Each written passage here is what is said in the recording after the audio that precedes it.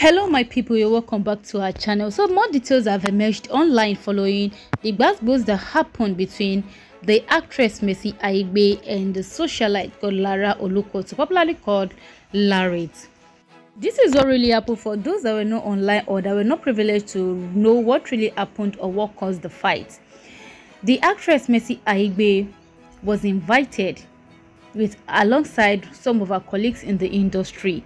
In the video, we can cite the Nollywood actress Iyabo Ojo and also Eniola Jao. Many of them were present, but we couldn't see many of them. Only the three people alongside the Larrits that fought with Mercy Aigbe.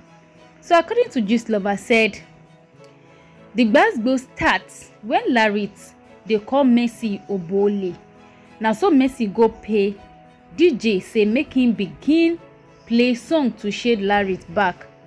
And Larrit was having it until Mercy call him name say Lara Gangan. Na there the battle Gangan Gangan begin to fly. So my people from where you think say you don't see am finish na there another thing Gangan can take happen. I don't know if you can notice this particular thing.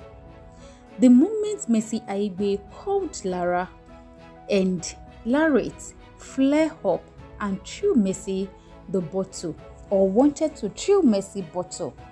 Look at that person standing behind Larrit that gave her a sounding abara. Abara. Give her sounding abara from back. So that is point one I want to bring out. And another thing, Iyabo Ojo was sitting together with Larrit. And it was said that Iyabo Ojo and Larrit were friends before, before they parted ways. And they said Larrit was the face behind or the brain behind Shoe Village, Larrit Shoe Village LSV.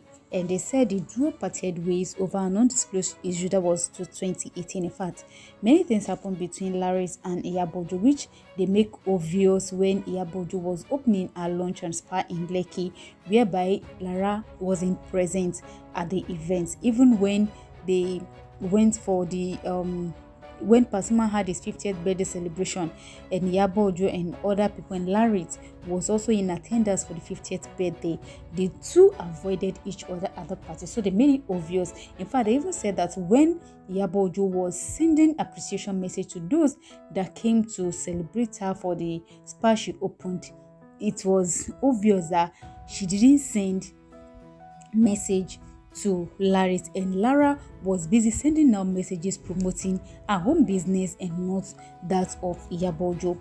That was another thing. Ah, Oma de was show celebrating.